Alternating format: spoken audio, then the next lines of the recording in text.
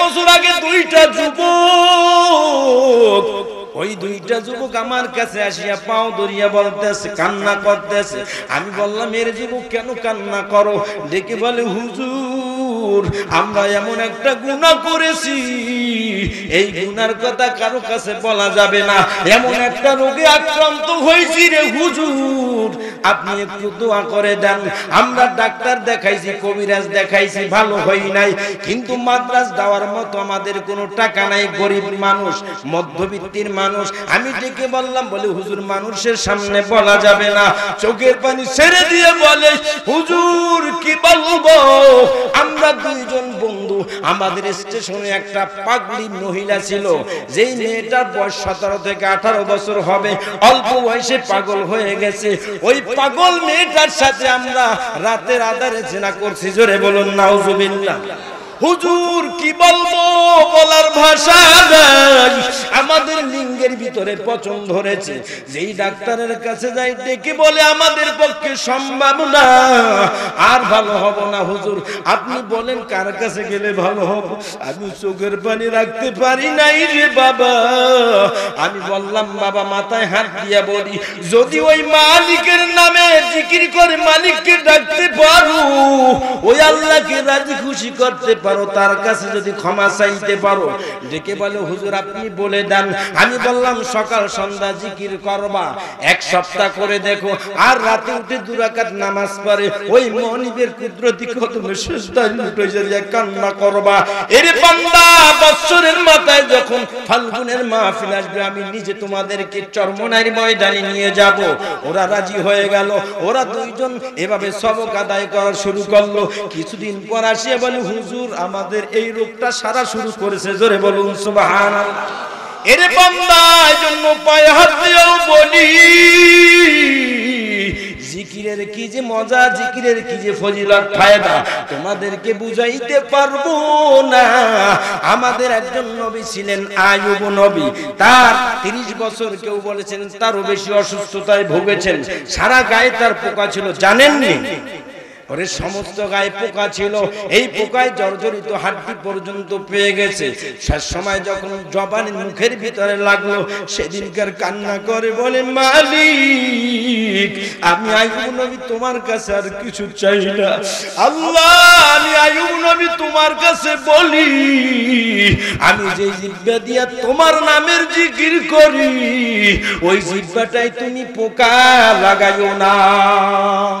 আকাবিরদের মুখে শুনেছি কোন এক বুজুর্গ। বুজুর্গ আল্লাহর ওলি রাস্তা দিয়ে চলে। চলতে চলতে সামনে গিয়ে দেখেন কত দূর পরে কোরআন তেলাওয়াতের আওয়াজ। বুজুর্গ মনে মনে ভাবলেন, কোরআন তেলাওয়াতের আওয়াজ থেকে আসতেছে? আমাকে দেখতে হবে। বুজুর্গ সামনে আগিয়ে দেখেন কবর। ওই কবরের ভিতরে ছিদ্র দিয়া কোরআন তেলাওয়াতের আওয়াজ ভেসে আসতেছে, জোরে বলুন বুজুর্গ এবার ডানে বামে সামনে পিছনে তাকায়, প্রত্যেকে কোরআন তেলাওয়াতের আওয়াজ। সামনে পিছনে ডানে বামে তাকাই দেখে একটা কবর। ওই কবরের ভিতর থেকে কোরআন তেলাওয়াতের আওয়াজ। বুজুর্গ সামনে যাইয়া কবরের পাশে দাঁড়াইয়া কানটা লাগাইল।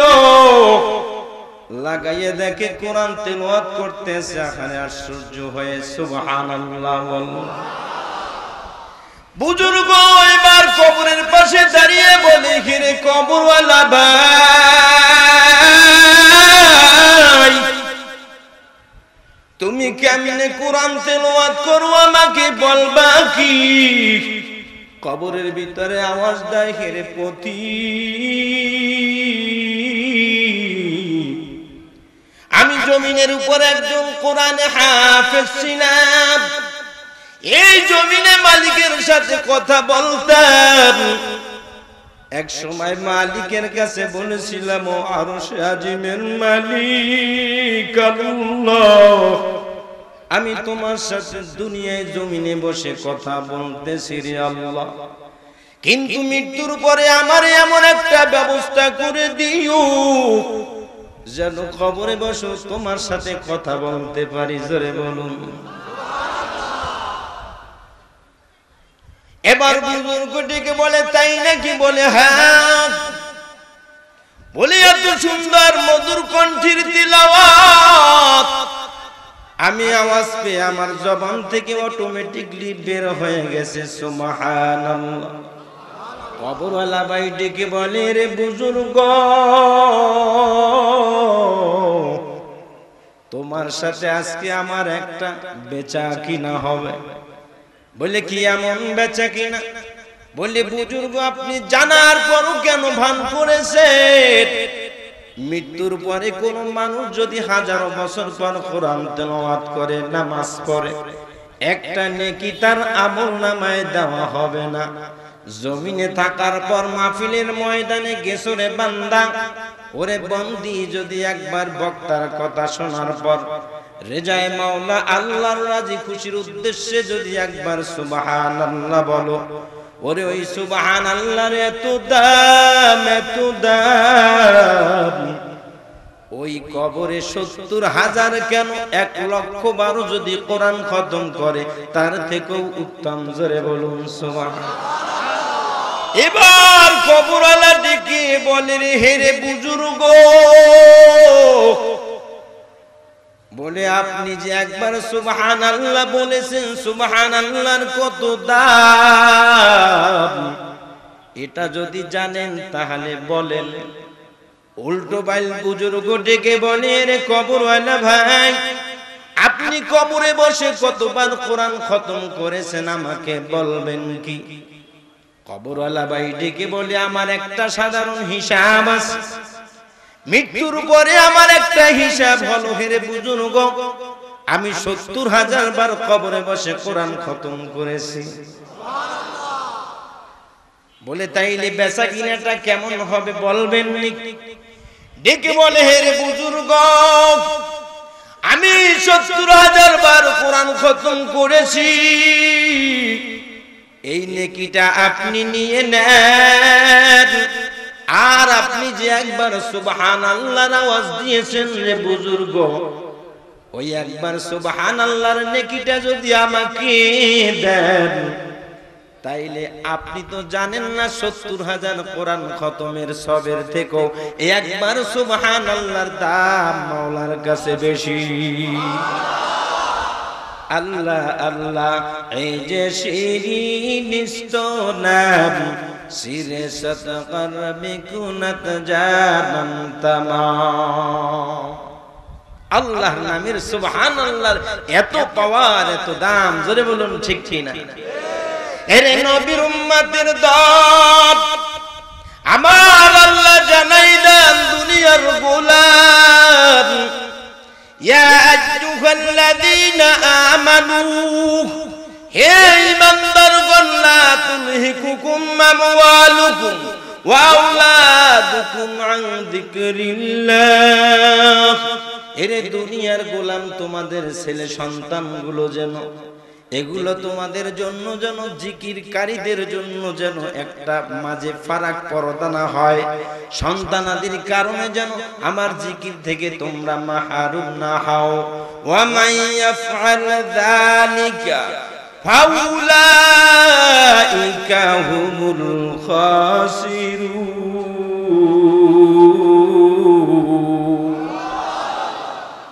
আল্লাহর কথা, কার কথা? হাদিসের ভিতরে আসছে।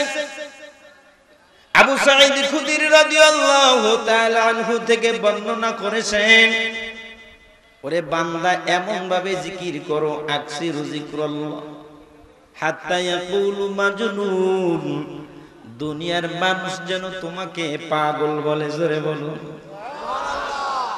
শুধু তাই না আল্লাহ অনেক জায়গায় এভাবে বলে থাকেন কোরআনুল কারীমের ভিতরে আসছে بسم الله الرحمن الرحيم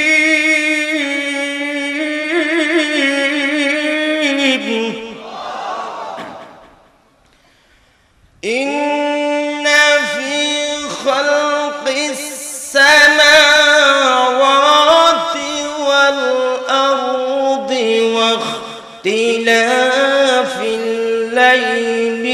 والنهار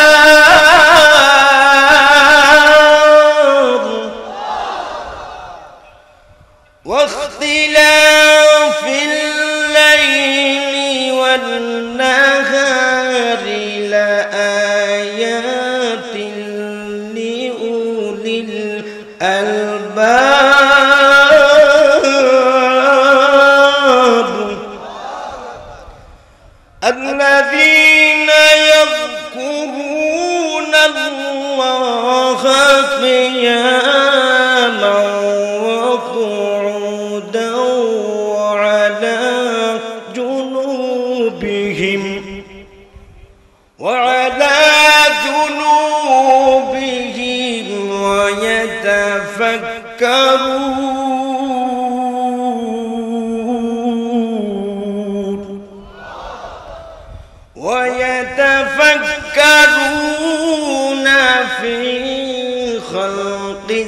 السماوات والأرض.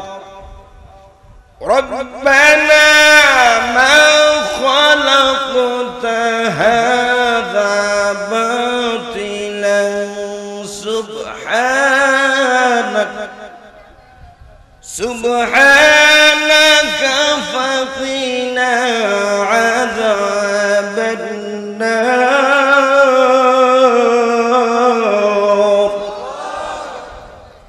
দুনিয়ার গোলাম الذين يذكرون الله قياما وقعودا وعلى جنوبهم এরে বান্দা আল্লাহ তালার ফিকির করবি জিকির করবি অন্যত্র আল্লাহ বলেন দাঁড়ানো বসা অবস্থায় শোয়া অবস্থায় আমি মাওলার জিকির করবি এরে বান্দা জিকির করলে আমার সাথে একটা সম্পর্ক হয়ে যাবে জোরে বলুন সুবহানাল্লাহ এরে নবীর উম্মতের দল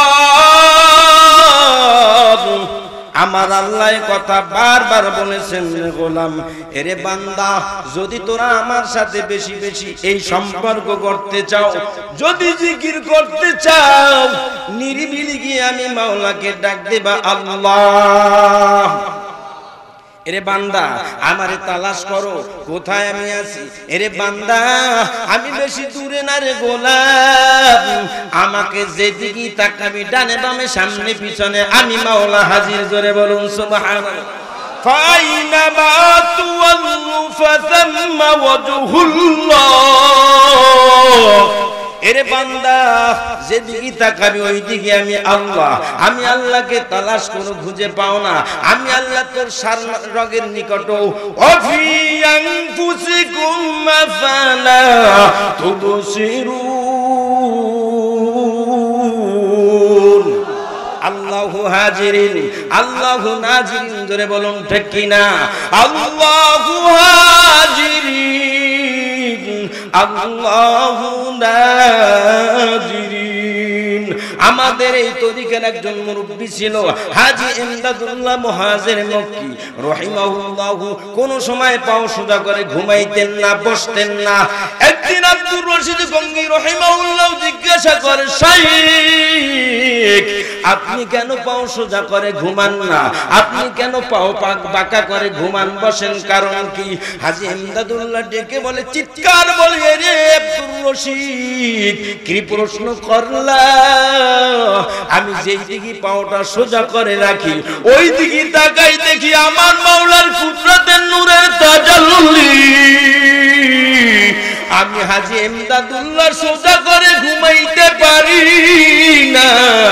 এজন্য আমি সব সময় পাও বাঁকা করে ঘুমাই বসি জোরে বলুন, সুবহানাল্লাহ। এর নবীর উম্মতের দল। এজন্য সব সময় মালিককে ডাকা লাগবে, জোরে বলুন ঠিক কি না আল্লাহর সাথে সম্পর্ক গভীর করা লাগবে। এই যে আফ্রিকার জঙ্গলের বেলা ওরে গোলামের বাচ্চা গোলাম। উমাইয়ার ঘরে থাকে, উমাইয়ার ঘরে বড় গোলামি করে, উটের রাখালগিরি করে। অন্য অন্য মনিমের গোলামেরা ডেকে বলি রে, উমাইয়া আপনি কি তাকাইয়া দেখেন না? আপনার যে গোলাম বিলাল এই বেলাল তো আমরা যখন উঠ নামাই, তার অনেক পরে সূর্য উদিত হওয়ার পরে তারপরে আপনার ঘরের উটগুলো নামায়। আপনার খাদেম, আপনার গোলাম তো আপনার কাজ ঠিক মতো করে না। এবার মনি মনে মনে ভাবলো, আমাকে গভীর রাত্রে গিয়ে দেখতে হবে। উমাইয়া মনে মনে ভাবলো, বেলালকে দেখব। এই আফ্রিকার জঙ্গলের কালো বেলাল, আমার গোলাম কি কাজ করে? অতির রাতে গভীরে গিয়ে দেখলেন ওই বেলালকে থাকার জন্য এমন একটা জায়গা দেশে। ওই জায়গাটা উটের প্রস্রাব পায়খানার পাশেই থাকার জায়গা। দুর্গন্ধ বেলালকে ভালো একটা জায়গাও দেয় নাই। বেলাল এই জায়গায় বসি ওই মালিকের সাথে গভীর রাতে কথা বলে, আর বলে আরুষি মালিক আমার আল্লাহ। আমি বেলাল কালু আফ্রিকার জঙ্গলের বেলাল, আল্লাহ, আমি তোমাকে তো চিনতে পারি নাই। আমি তোমাকে ডাকি, তুমি আমার সাথে বন্ধুত্ব করবে কিনা? ওই মালিকের গোপনে ডাকে আল্লাহ, আহাদ আহাদ, কে ডাকে কে ডাকে বলেন? এবার বিলাল গভীর রাতে ডাকি, উমাইয়ার মেজাজ বড় গরম হয়ে গেল। উমাইয়া সকাল বেলা ডেকে বলে আমার কাজ না করিয়া দেখছি কার নাম মুখে জপ। ডাক দিয়া বলে, আপনি আমার দুনিয়ার লাইনের গোলাম কিন্তু আমার আর একজন মনিবাসের উমাইয়া, ওই মালিকের না ডাকলে কলিজা ঠান্ডা লাগে না। এরে উমাইয়ার মেজাজ বড় গরম। উমাইয়া একটা লাঠি নিয়া এবার বেলালকে আঘাত করে আর পুহার করে। দেখে বলি বেলাল, যদি তোর ওই মনিবের জিকির না সারো, আমার অত্যাচারের মাত্রা আরও বেড়ে যাবে। বেলাল বলে কল্লা দিব কিন্তু আল্লাহ দিব না। এরে নবীর বেলালকে মারতে আসে। ওই যে আরবের মরুভূমির উপরে বেলালকে চিৎ করে উপুর করে সবাই, ছোট ছোট বাচ্চাদের হাতে রশি দিয়া, উটের রশি দিয়া বান্দিয়া বেলালকে খালি ঘুরায়, বেলাল খালি মরুভূমির পাথরের চাপা খায়, এ গাছে ও পাথরে বাড়ি খায়। এবার বেলালের কোনো হুশ নাই, বেহুশ। তারপর উমাইয়া বুকের উপরে পাড়া দিয়ে বলি, রে বেলাল, এখনও সময় আছে, ওই মালিকের নাম সারবিনি বেলাল বলি মনি আমি ইমান দিতে রাজি না, জীবন দিতে রাজি। এ বেলাল, কেন আল্লাহর নাম ছাড়বি না না? আল্লাহর নামে এত মজা সারা যাবে না রে গোলাম। ওই আল্লাহর নামের মজা আছে কিনা আছে কিনা? এ পাগলের আছে আছে। আল্লাহকে ডাকতো আল্লাহ আল্লাহ আল্লাহ আল্লাহ। জোরে ডাকতো আল্লাহ। ওরে আফ্রিকার জঙ্গলের বেলাল ওই মনিবের নাম ডাকতে থাকে, আর ছাড়তে চায় না। উমাইয়া আরও অত্যাচার বাড়াইয়া দিল। ডেকে বলে, বেলাল, যদি তুই নিষ্কৃত পাইতে চাও, ওই মনিবের নাম সারো বলি, এবার বেলাল ডেকে বলে রে উমাইয়া, ওই মালিকের নামে এত মজা এত মজা। আমি বেলাল জীবন গেল সারব না। এরে বান্দা, আল্লাহর জিকির করা লাগবে কিনা এই জন্য সবসময় যদি আল্লাহর জিকির করো, আল্লাহর নবীর একজন সাহাবি ছিল মুআজ। মুআজ আল্লাহ তাআলা তাকে গভর্নর পাঠাইছিলেন এক জায়গার। ওই জায়গায় গভর্নর পাঠাবার সময় একবার মুআজ জিজ্ঞাসা করে, ইয়া রাসূলুল্লাহ পয়গম্বর, আপনার কাছে এমন একটা আমি আমলের কথা জানতে চাই। ও পয়গম্বর, আপনি কি বলবেন যে আমলটা অতি সহজ, যে আমলটা আল্লাহর কাছে বড় প্রিয়। এবং যে আমলটা দ্বারা আমি উপকৃত হব, আল্লাহর কাছেও পছন্দনীয়। আমার মায়ার নবী ঠিকই বলি মুয়াজ তুমি সব সময় আল্লাহর নামের জিকির করবা। বলে জিকির করে যদি জিব্বাটা তরুতাজা রাখতে পারো। এরে মুআজ তাহলে শেষ সময় আল্লাহ তাআলার রাজি খুশির উপরে যদি মৃত্যুবরণ করো, তাহলে দেখা যাবে ও মুআজ আল্লাহ তাআলা আর মাকাম বাড়িয়ে দিবে। জোরে বলুন, সুবহানাল্লাহ। এই মুয়াজ পিলকি রোগী মারা গেছে। ওই মুয়াজ মারা যাওয়ার পূর্বে আল্লাহর কাছে বলে, ও আউসি আজিমের মালিক, আমার আল্লাহ, আমি মুয়াজ তোমার সাথে সব সময় কথা বলতাম। আমি মুয়াজ তোমার নামের জিকির করতাম রে আল্লাহ, আমি এমন একটা সময় আসছি, কিন্তু মাওলা তোমার নামের জিকির তো করব, এমন তোমার দুয়ারে ভিখারি রে আল্লাহ, আমি মুয়াজ তোমার কাছে ভিক্ষা চাই। সেটা হলো মাওলার রাজি খুশির উপরে ইমান চাই। এরে আল্লাহ, নবীর নবীর রসুলের উম্মাদের দল। এরে আল্লাহর বান্দা, তোমাদের পায়ে হাত দিয়েও বলি, এজন্য সর্বদা মালিকের জিকির করা লাগবে, রাজি আছে কিনা? সকাল সন্ধ্যা জিকির করা লাগবে নি। এর যুবক তোদের পায়ে হাত দিয়েও বলি আমরা তো চর্ম নাই মাসলাকের লোক। বহু লোক দেখা যায় মৃত্যুর পূর্বে বেহুশ। হুশে আসিয়া মৃত্যুর পূর্বে তারপরে আল্লাহ নামের জিকির করিয়া দুনিয়া থেকে বিদায় হয়ে যায় আসেনি। এর বান্দা কয়েক বছর আগে দুইটা যুবক ওই দুইটা যুবক আমার কাছে আসিয়া পাও দরিয়া বলতেছে, কান্না করতেছে। আমি বললাম, এর যুবক কেন কান্না করো? ডেকে বলে, হুজুর আমরা এমন একটা গুনাহ করেছি। এই গুনার কথা কারও কাছে বলা যাবে না। এমন একটা রোগে আক্রান্ত হয়েছি রে হুজুর। আপনি একটু দোয়া করে দেন। আমরা ডাক্তার দেখাইছি, কবিরাজ দেখাইছি, ভালো হই নাই। কিন্তু দেওয়ার মতো আমাদের কোনো টাকা নাই, গরিব মানুষ, মধ্যবিত্তির মানুষ। আমি ডেকে বললাম, বলে, হুজুর, মানুষের সামনে বলা যাবে না। চোখের পানি ছেড়ে দিয়ে বলে, হুজুর, কি বলব? আমরা দুইজন বন্ধু। আমাদের স্টেশনে একটা পাগলি মহিলা ছিল। যেই মেয়েটার বয়স সতেরো থেকে আঠারো বছর হবে। অল্প বয়সে পাগল হয়ে গেছে। ওই পাগল মেয়েটার সাথে আমরা রাতের আধারে চেনা করছি। জোরে বলুন, নাউজুবিল্লাহ। হুজুর কি বলব? বলার ভাষা নাই। আমাদের লিঙ্গের ভিতরে পচন ধরেছে। যেই ডাক্তারের কাছে যাই ডেকে বলে আমাদের পক্ষে সম্ভব না। আর ভালো হব না হুজুর। আপনি বলেন কার কাছে গেলে ভালো হব? আমি চোখের পানি রাখতে পারি নাই রে বাবা।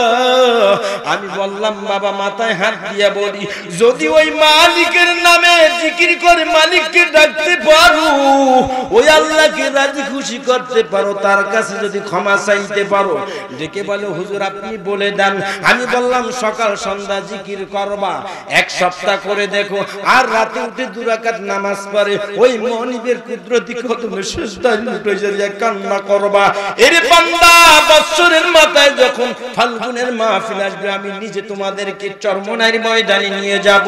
ওরা রাজি হয়ে গেল। ওরা দুইজন এভাবে সবক আদায় করা শুরু করল। কিছুদিন পর আসিয়ে বলে, হুজুর আমাদের এই রোগটা সারা শুরু করেছে। জোরে বলুন, সুবহানাল্লাহ। এর বান্দা জন্য পায়ে হাত বলি, জিকিরের কি যে মজা, জিকিরের কি যে ফজিলত, ফায়দা, তোমাদেরকে বুঝাইতে পারব না।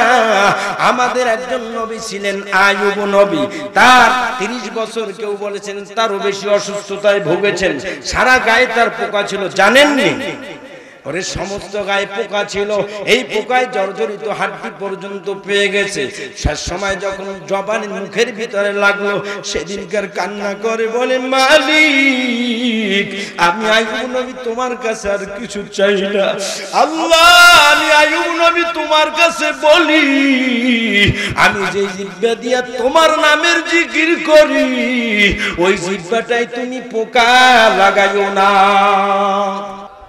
এরে বান্দা, কেমনে জিকির করবা? সকাল সন্ধ্যা জিকির করবা, হাঁটতে চলতে মালিকের জিকির করবা। এর বান্দা, এজন্য বলি, ওই মালিকের জিকির করলে দিলটা তাজা হয়, হাদিসের মধ্যে আসছে। পয়গম্বর বলেছেন, এরে দুনিয়ার গোলাম, এই দুনিয়ার গোলাম রে, তোরা ভালো মতো বুঝিয়া নে। আমার আল্লাহর নবী ফরমাইছেন, যেই ব্যক্তি জিকির করে, আর যেই ব্যক্তি জিকির করে না, এদের মধ্যে কেমন জানো? যেই ব্যক্তি জিকির করে না এর সে মর্দা মুদ্রার মত।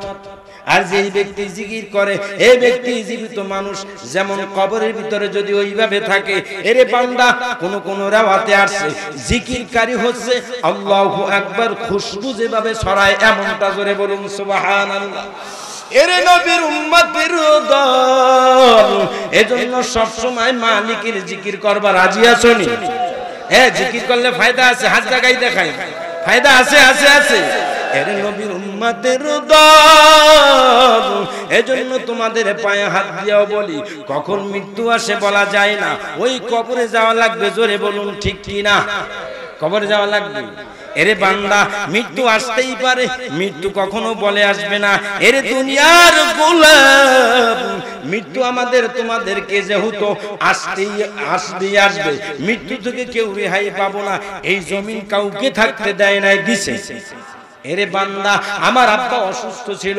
আমার আব্বার পিছনে আমাদের চাষের জমি বিক্রি করে। সেই টাকা দিয়া বাবারে কত ডাক্তার দেখাইলাম। এই দুনিয়া বাবাকে থাকতে দেয় নাই। ওই অন্ধকার কবরে পাঠিয়ে দিয়েছে কবরে যদি মালিকের জিকির করতে পারো, দুনিয়ায় সম্পর্ক করে গেলেই মালিক কবরে ও নাজাত পাবা। জোরে বলুন ঠিক কিনা? এরে বান্দা, এজন্য সব সময় আমরা আল্লাহ পাকের জিকির করব রাজি আছি তো। আর কবরে গেলে আমরা নিস্তার পাবো, ঠিক না? যেহেতু কবর প্রতিদিন আমাদেরকে মেসেজ দিয়ে দেয়, কি দিয়ে যায়? মেসেজ দেয়, জানেননি? মেসেজ দেয়, আনাল মাউতুল্লাযী উফাররিকু বাইনাল বানাতি ওয়াল উম্মাহাত। প্রথম নাম্বার মেসেজ এই মৌত আমাদেরকে মেসেজ দেয়। আনাল মাউতুল্লাযী উফাররিকু বাইনাল বানাতি ওয়াল উম্মাহাত মৃত্যু ডেকে বলে, রে দুনিয়ার গোলাম তোরা জানো না, আমার এক নাম্বার মেসেজ আমি তোমাদেরকে পাঠাই দিলাম। আমি মামের মধ্যে এত গভীর সম্পর্ক, এর পর্দার আড়ালের মা জেনে নাও, আমি তোমাদের মামের মধ্যে, আমি মৃত্যু বিচ্ছেদ ঘটাইয়া দেই, জোরে বলুন, সুবহানাল্লাহ। দ্বিতীয় নাম্বার বলে এরে দুনিয়ার গোলাম আনাল মাউতুল্লাযী ইউফাররিকু বাইনাল আখি ওয়াল আখাওয়াত। আমি ভাই বোনের মধ্যে আমি বিভেদ সৃষ্টি করে দেই বিচ্ছেদ করে দেই আবার ডেকে বলে আমার তিন নাম্বার মেসেজ নাও। আনাল মাউতুল্লাযী ইউফাররিকু বাইনা কুল্লি হাবিব। এরে বান্দা, যেই বন্ধুর মহাব্বাতে পড়েছো, যেই বন্ধুর প্রেমে পড়ে ভিন্ন জায়গায় গিয়া গুনাহ করো, যেই বন্ধুর জন্য নামাজের আজানের সময় মসজিদে যাও না, এরে এই বন্ধুকেও কি করব জানো? আনাল মাউতুল্লাদি উফারুকু বাইনা কুল্লি হাবিব, এই বন্ধু থেকেও আমি তোকে আলাদা করে ফেলব। আবার ডাক দিয়া বলে, মোর এর নবীর উম্মতের দল, আমার মেসেজ জেনে রে বান্দা। আনাল মাউতুল্লাদি উখরিবু দিয়ার ওয়াল কুসুর। আমি এমন একটা জায়গা, বড় নির্জন জায়গা। আমার ভিতরে আসতে হইলে বান্দা আমল নিয়ে আসা লাগবে। আমার কবরে আসতে হইলে, আমার কাছে আসতে হইলে, ওই কবরে পাঠাই দেওয়ার পরে বান্দা তোর জিকির নিয়ে যাওয়া লাগবে। জোরে বলুন, ঠিক কিনা? আরেকটা মেসেজ যে মুওয়াজ্জিকে বলে, আনাল দিয়ার ওয়াল কুসুর।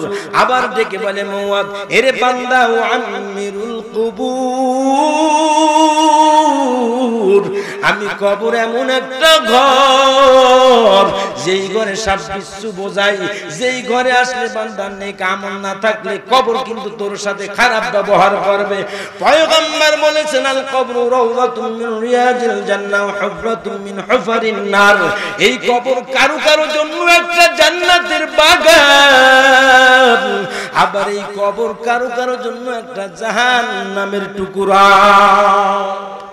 এরে বান্দা এই কবরে আসতে হইলে তোর কি লাগবে জানো? আনাল মাউতুল্লাহ দিয়াত লুবুকুম ওয়াউদুরিকুম ফি বুরুজিন মুশাইয়াদা।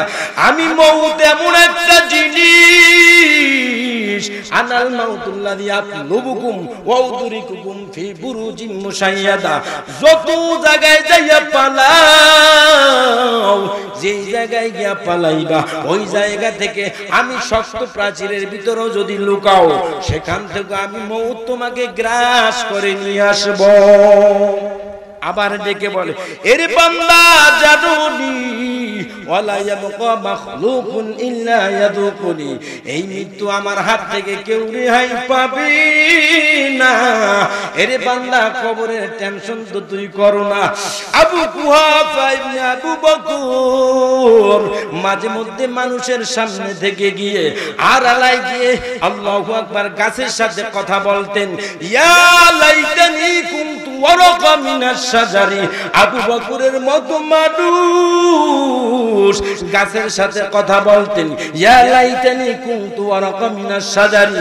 হায় রে আফসোস, আজকে আমি যদি আবু বকুর না হই আমি যদি গাছ হইতাম সাজারু তাহলে আমার কোনো হিসাব থাকতো না। এর নবীর উম্মতের দল, এজন্য কবরের টেনশন করা লাগবে কিনা? এরে বান্দা, এই কবরে যাওয়া লাগবে। যেহেতু আল্লাহু আকবার, সর্বপ্রথম আমার মৃত্যু হলে কি হবে? ওয়াইন আউয়ালা মা মাউতি হুয়া ইসমি। আমার নামটাকে আমি হারিয়ে ফেলব। এরপর আমার আত্মীয় স্বজন কি করবে জানেন জানেননি? ইউখরিজুনানি মিন বাইতি আমার ছেলে মেয়ে, আমার আত্মীয় স্বজন আমার কাছে এসে বলবে, জলদি করে ঘর থেকে বের কর। এই মৃত্যু লাশটা দেখে আমরা বড় ভয় পাই। আমাকে ঘর থেকে তারা জোরপূর্বক বের করে দেবে। এরপরে করবে কি? উজারুরাদু মিন মালাবিসি। এরপরে আমার শরীরের পোশাকগুলো খুলে খুলে ফেলবে। এরপরে তারা কলবে কি, ইয়াফসিনু ইয়াফসিনু নানি, আমাকে গোসল করাইবার জন্য যখন গরম পানি করো গরম পানির ভিতরে যখন বড়ই পাতা দিবে, ওরে গোসল করাইবার সময় যখন আমার আত্মীয় স্বজন যখন গরম পানি ঢালবে, আমি ডেকে ডেকে বলব, এরে ভাই, আসতে পানি Amo এত গরম পানি আমার সহ্য হয় না। আমি সহ্য করতে পারি না। এরপরে এক ফিনু নারী আমাকে নতুন কাপড়ে মোড়াইবে, জড়াইবে। এরে বান্দা, ওয়াসায়াতি কাতিরুনা লিতাশিল জানাজাতি। মানুষ জানাজার জন্য আমার জন্য সম্বোধন করবে। আয় আয়, জলদি করে জানাজায় শরীক হয়ে যা। অমুক বান্দারে জানাজা দেওয়া লাগবে। এর নবীর উম্মতের দল, এজন্য তোমাদের পায়ে হাত দিয়া বলি। ওই কবরের জন্য আবু বকর ওসমান আলী কাঁদছেন। এ ভাই কাঁদছেন শুধু তাই না, আবু জর গিফারি ফাতেমাকে যখন কবরে রাখবে, তখন ফাতেমা ওই কবরের কে লক্ষ্য করে আবু জর গিফারি বলছিল, ইয়া কবরুয়া তাদরি মানিল্লাতি জিনা বিখাইলাই হে কবর, তুই কি জানো, তোর ভিতর কাকে রাখতে আছি? হাদি ফাতিমা তু বিনতি মুহাম্মাদিন সাল্লাল্লাহু আলাইহি ওয়াসাল্লাম। কবরের কোনো আওয়াজ নাই। আবার ডাক দেওয়া, হাদিহি জাওজু আলীল মুরতাদা রাদিয়াল্লাহু তাআলা আনহু। কবরের কোনো আওয়াজ নাই। আবার আবু জারি গিফারি ডেকে বলে ওয়া হাদিহি হাসান ওয়াল হুসাইন রাদিয়াল্লাহু আনহুমা, এর কবর সাদ্দার তুই কি জানো, তোর ভিতরে কাকে রাখতে আছি? তোর ভিতরে রাখতে আছি এরে বান্দা হাদি ফাতিমা তু বিনতি মুহাম্মাদিন সাল্লাল্লাহু আলাইহি ওয়াসাল্লাম। তোর ভিতর রাখতে আছি মা আনা মাউদিউ হাসাবিন ওয়ালা নাসাবিন। কবরের জবাবটা কত সুন্দর। মা আনা মাউদিউ হাসাবিন ওয়ালা নাসাবিন বাল্লানা মাউদিউ আমালিন সালিহ এরে আবু যর গিফারি আমি কবর মুহাম্মাদের কলিজার টুকরা ফাতেমাকে চিনি না। আমি কবর আলীর স্ত্রীকে চিনি না। আমি কবর হাসান হুসাইনের মাকে চিনি না। এরে বাল আনা মাউদু তার আমল যদি ভালো হয়, আমি কবর তার সাথে ভালো ব্যবহার করব। আর যদি কবর, যদি তার আমল ভালো না হয় একদিকের মাটি আর একদিকে এমন চাপ মারব। দুই পাশের চাপের হাড্ডিগুলো চুরমার হয়ে যাবে। এর নবীর উম্মতের দল, এজন্য কবরের টেনশন করে যাবা। তবে মাওলার জিকির করে যাওয়া লাগবে, জোরে বলুন ঠিক কিনা? ওরে বান্দা, জিকির করে যদি যাও, আল্লাহকে রাজি খুশি করে যদি কবরে যাইতে পারো। এরে বান্দা, ওই কবরটা তোমার জন্য একটা জান্নাতের টুকরো হবে, জোরে বলুন ঠিক কিনা? এরে বান্দা, মা বাবার খেদমত করবা, রাজি আসেনি? এর বাবাকে কষ্ট দিবা, মাকে কষ্ট দিবা। আজকে প্রশাসন অনুমতি দেয় না, দুদিনের একদিন দিছে বলেন, আলহামদুলিল্লাহ। ধন্যবাদ জানাই আমার ডানে বামে সামনে, পিছনে। প্রশাসন থাকতে পারে। আমিও চিনি, আমার আত্মীয় স্বজন প্রশাসনের ভিতর আছে। বর্তমান অনেক বিচার আর্মিদের ভিতরে হারুনার রচিদ সাহেব, আমার চাচা হয়। বর্তমানে এই ক্যাম্পের পাশেই যে বর্তমানে ওসি সিরাজ আমার চাচা হয়, এরে বান্দা আমার সবচেয়ে ক্লোজ বন্ধু মানুষ আর্মি সার্জেন্ট মুজিবর ভাই জাল জালোকাটি নল সিটি বাড়ি। আমাকে প্রায় ডেকে বলে, হুজুর, মাহফিলে যান, আমার জন্য দোয়া করেন। এরে নবীর উম্মাদের দল, কারণ কি একটাই কারণ, যেই যুবকেরাও আমার কাছে আসছে, যেহেতু জেনা করার পরে আল্লাহ তালা জিকিরের মাধ্যমে তাদেরকে ভালো করে দেছে এর যুবক, তুই যদি মুসিবতে পড়ো সকাল সন্ধ্যা এই ঔষধ পালন করিস, এক নাম্বার তাবিজ। এটা যদি আমল করো, শেষ রাতে যদি তাহাজ্জুদ নামাজ পড়ো, বান্দা কপাল খুলে যাবে, আল্লাহ তালা তোর তামান জীবনের গুনাহ খাতা মাফ করে দিবে। আর একটা সংবাদ কি জানেন? আপনি বলবেন, হুজুর চরমনাই তো এমনি সবাই বলে আওয়ামী লীগের দালাল। আসলে কি চরমনাই আওয়ামী লীগের দালাল? বলেন, কিন্তু একটা কথা না বললেই নয়। আজকে একটা কথা শুনলাম। আপনারা জানেন, বঙ্গবন্ধু যার জনপ্রিয়তা আকাশ চুম্বি ছিল, তার গায়ে যে একটা কোট দেখা যায়, আমরা যাকে মজিব কোট বলি, এই কোটটা দিছিল কি আপনারা জানেন? হ্যাঁ জানেন জানেন। জানেন না আপনাদের, এই যে সদর এই যে ফরিদপুরের শামসুল্লাহ ফরিদপুরি রহমতুল্লাহ বড় বুজুর্গ আল্লাহর ওলি, তার গায়ের এইটাই দেশে, এটাই বরকতের কারণে আজকে মানুষ তার কথা স্মরণ করে। আর একটা খবর আছে চেয়ারম্যান সাহেব, উনি বললেন, এই মিডিয়ারা ভালো মতো প্রচার করে। আবার কবি যে, হুজুর মনে চরমনায় নৌকার দালালি করে। সেটা হচ্ছে, শুনলাম হুজুর একদিন কলিকাতা যাবে আর আমাদের বঙ্গবন্ধু শেখ মুজিবুর রহমানও যাবেন খুলনা।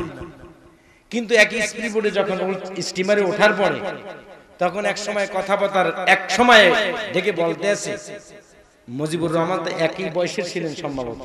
ডাক দিয়ে বলতেছে যে, মার্কাটা যদি নেও, তাহলে নৌকা নিও।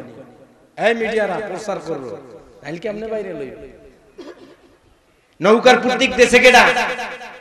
এই দেশে কেডা ধরে বলেন শামসুল্লাহ ফরিদুর রহমতুল্লাহ আজকে এই জন্যই আস। যাই হোক, আমি এদের প্রশংসা করি না, কিন্তু ডানে বামে কিছু আছে, কি জানেন? উল্লুক বান্দর ভাল্লু যেগুলো সমাজ নষ্ট করেছে। জোরে বলুন, ঠিক কিনা? আপনি তাকাই দেখেন মুর্তা। মুরাদ না নাম কি? ইনু। এগুলা প্রধানমন্ত্রী নিজেও সহ্য করতে পারে না। কোন প্রয়োজন নাই, নট সাথে এক এক করে তাকাই দেখেন, লতিফ সিদ্দিকির মতো ভেজাল করছেন, দলের মধ্যে ভেজাল করবেন, থাকতে পারবেন না। উনি একটা পিওর লোক, কিন্তু ডানে বামে কিছু নাস্তিক বৈশ্যা। ওরা সমাজটাকে নষ্ট করে আওয়ামী লীগের বদনাম করে, জোরে বলুন ঠিক কিনা? আমরা এদেশ একটি শান্তির দেশ চাই, জোরে বলুন ঠিক কিনা? আমরা যে হিন্দু মুসলমান, মুসলিম এক, হয়েই থাকুক, আমরা সেটা চাই। আপনারা কখনো মসজিদ ভাঙলে মন্দির ভাঙতে হবে, এটা কোথায় পেয়েছে? এ সাম্য রসুল শিক্ষা দেয়নি করবেন না। কেন করবেন? তবে হ্যাঁ হিন্দু ভাইদেরকেও বলি বাংলাদেশে আপনারা জামাইয়া ধরে থাকেন। অযথা আপনারা কেন শত্রু হতে যান? আপনারা জামাইয়া ধরে থাকেন, কেন শত্রু হতে যান? আমরা আপনাদেরকে জামাইয়ের মতোই দেখি, খুব সুন্দর মতো থাকেন। কিন্তু আপনারা আগুনে কখনো হাত দিয়েন না, তাহলে পুলিশ সারখার হয়ে যাবে। সরকার হয়ে যাবেন নিস্তুনাবুদ হয়ে যাবে প্রশাসন ভাই, অনেক সহযোগিতা করেছেন, আলহামদুলিল্লাহ। চেয়ারম্যান সাহেব অনেক কষ্ট করেছেন। আলহামদুলিল্লাহ। যাই হোক, চেয়ারম্যানের জন্য কলিজা ভরা তো অন্তর দেখা করছে তোমাদের সাথে। না? কলিজা ভরে দোয়া করি, আল্লাহ তাকে কামিয়াব করো আমার কথা অসন্তুষ্ট হয়েছে? বলে? প্রধানমন্ত্রী শেখ হাসিনা ভালো মানুষ। কিন্তু ফুল বাগানে হুতুম পেশা তো সব লাগে না, একটাই যথেষ্ট। কয়টা যথেষ্ট? একটাই যথেষ্ট এই কথায় কি আপনারা যাইয়া হিন্দু বাড়ি জ্বালাই দিবেন? আমার কথায় কি কোনো উগ্রবাদী কোনো আওয়াজ এসেছে? বলেন। তাহলে কেন করবেন? করবেন কিন্তু হিন্দুদেরকেও বলি, আমাদের কলিজায় আঘাত দিবেন না। আমাদের কলিজা আপনার আঘাত দিবেন না। আমরা সহ্য করতে পারি না।